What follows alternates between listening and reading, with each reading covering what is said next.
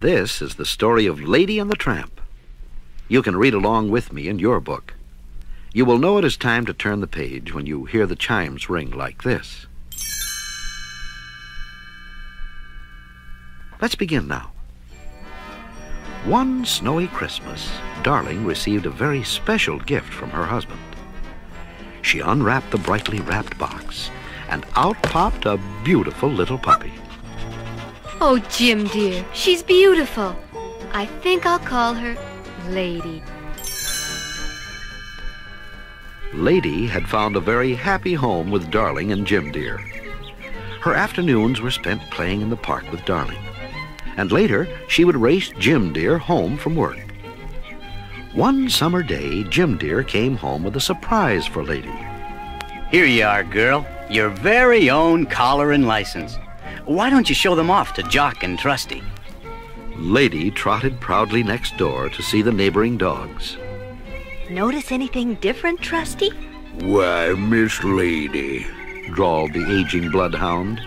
You've got a new collar. Jock the Scotty added, Aye, and it looks very expensive. Later that summer, Lady noticed a change in Jim Dear and Darling.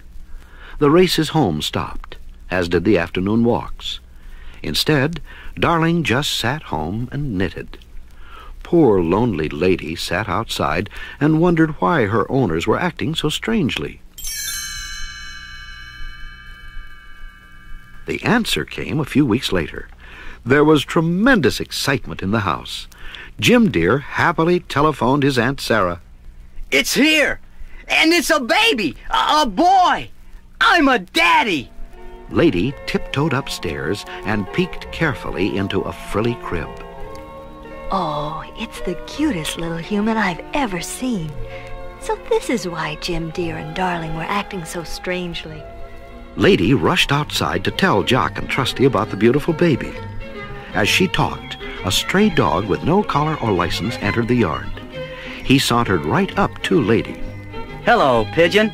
I couldn't help overhearing your conversation, and I think you're all wrong. Why, babies are just cute little bundles of trouble. Jock had heard about this intruder.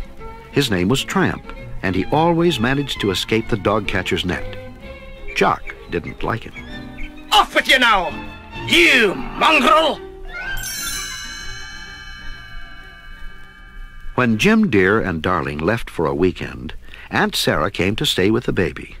And much to Lady's dismay, Aunt Sarah had brought along her two Siamese cats. They were troublemakers from the start. One cat headed right for the canary cage, while the other tried to make a meal out of the goldfish. Lady chased after them and spoiled their plans, but not before the cats had made a shambles of the living room. Aunt Sarah came running. Merciful heavens! Look at this mess! The two pesky cats pretended to be hurt. Aunt Sarah cuddled them. Did that wicked dog attack you, my innocent little angels? Well, I know how to take care of that ruffian. Aunt Sarah didn't waste a moment. She grabbed Lady and marched right down to the local pet shop. Clerk, I want a muzzle. A good strong one. The shopkeeper strapped a heavy muzzle onto Lady's face. It was so tight that she could hardly open her mouth.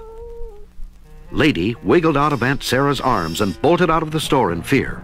Up one street and down another she fled, trying to escape the horrible muzzle. She soon found herself lost and in a very bad part of town.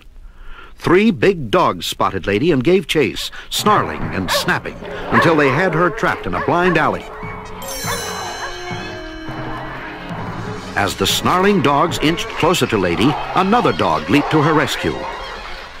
It was Tramp.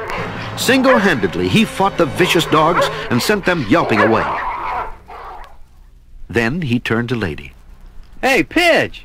What are you doing on this side of the tracks? I thought you... Huh? A muzzle? Oh, you poor kid. We've got to get that thing off. Come on. Tramp led Lady to the city zoo. At a pond, they found a beaver struggling to pull a heavy log into the water. Pardon me, friend. It looks like you need a log puller. I happen to have a handy-dandy one here, modeled by the little lady. Just nip it off and it's yours. The beaver quickly nibbled through a strap, and Lady was free of the hated muzzle. Come on, Pidge. Let's find a place to celebrate. Tramp seemed to be known and welcomed everywhere they went. He had a different place to eat every day of the week. It's Wednesday, Pidge. That means we go to Tony's restaurant. You'll love it. Tony had a plate of bones all ready, but when he saw that Tramp had brought a lady friend, he served them a delicious dinner of spaghetti and meatballs. Then Tony took out his accordion and sang a beautiful love song, while Lady and Tramp dined by candlelight. Lady marveled at Tramp's carefree life, so different from her own. After the romantic dinner, Lady and Tramp walked through the park to the top of a hill overlooking the city. Look down there, Pigeon. There's a great big world out there with no fence around it, where two dogs like us could find adventure and excitement. It sounds wonderful, Tramp, but who would watch over Jim, dear, Darling, and the baby? You win, Pidge. I guess we're just too different.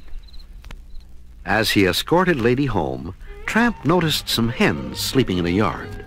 Hey, let's wake up those fat, lazy biddies. But won't we hurt them, Tramp? Nah, we'll just stir them up a bit. It'll be fun. Tramp raced into the yard, barking wildly. Chickens went fluttering and squawking about until the owner rushed outside with his shotgun. That's the signal to get out of here, Pidge.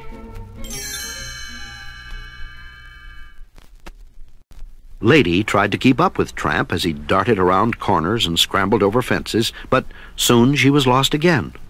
Without warning, the city dog catcher pounced on poor Lady and carted her off to the dog pound. That tramp. I never would have guessed he was the type to desert a lady.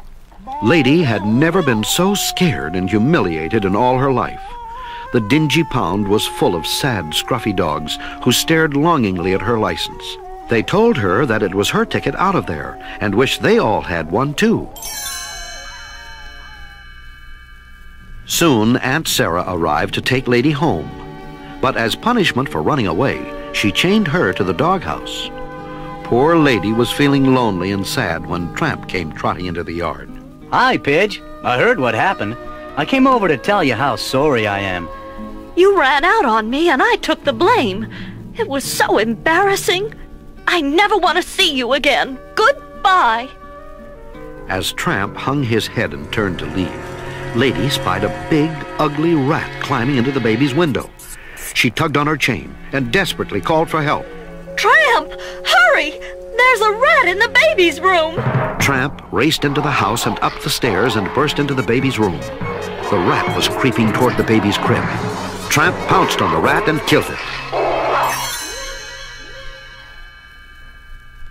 The noise from Tramp's fight awakened Aunt Sarah. She rushed into the baby's room. Oh, you vicious brute! Trying to attack the baby! Aunt Sarah hadn't even seen the rat. She forced Tramp into a closet and locked the door. Now I'll call the dog catcher and have that brute taken away. Jock and Trusty watched as Tramp was locked in the dog catcher's wagon. Well, Trusty, there he goes off to the pound. I was certain he was no good the moment I first laid eyes on him. Yeah, but I never thought he'd attack a helpless baby. Just then, Jim Dear and Darling returned home. Lady gave a desperate tug and broke her chain. She ran into the house, barking frantically at Jim Dear. Look, darling. Lady's trying to tell us something. What is it, girl? Lady raced upstairs to the baby's room to show Jim Dear the truth. Oh, my goodness! Darling, come here! What is it, Jim? Oh, a rat! That means that Tramp is actually innocent. He saved the baby. But now he's being taken to the dog pound to be destroyed.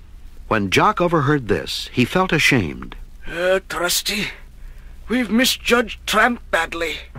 We've got to rescue him. The two dogs raced after the dog catcher's wagon, barking fiercely. The frightened horses bolted. The wagon overturned, and the door sprang open. Tramp was free. Jim Dear and Darling were so grateful to Tramp that they bought him a collar and license. Now he was part of the family. The next Christmas, Lady and Tramp celebrated with their own family. Four adorable puppies.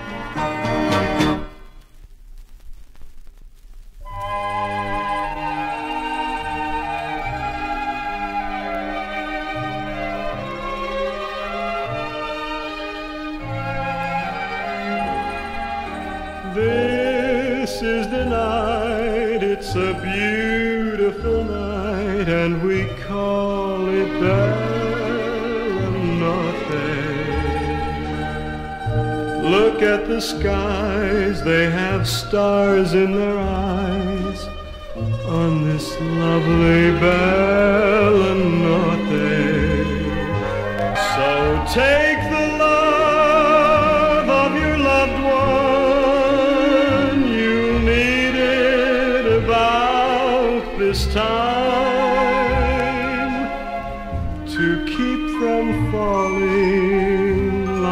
star when you make that dizzy climb. For this is the night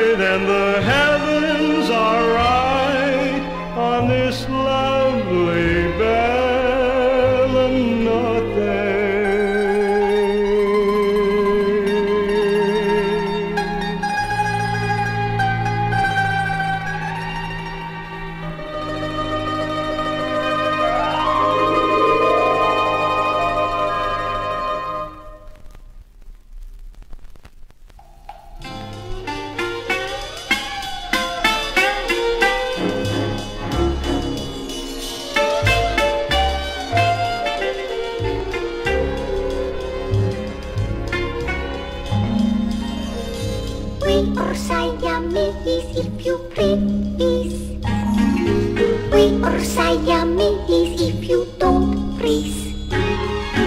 We are former residents of Siam. There are no finer cut than we are. Do you see that thing swimming round and round? Maybe we could reach in and make it drown.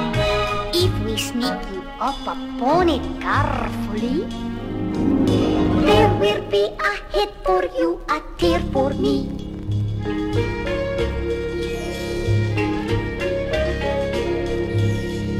Who is that who's living in that wire house? It must be a bird because it's not a mouse.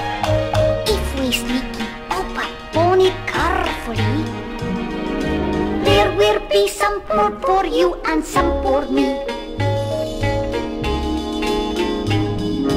We are Siamese if you please. We are Siamese if you don't please.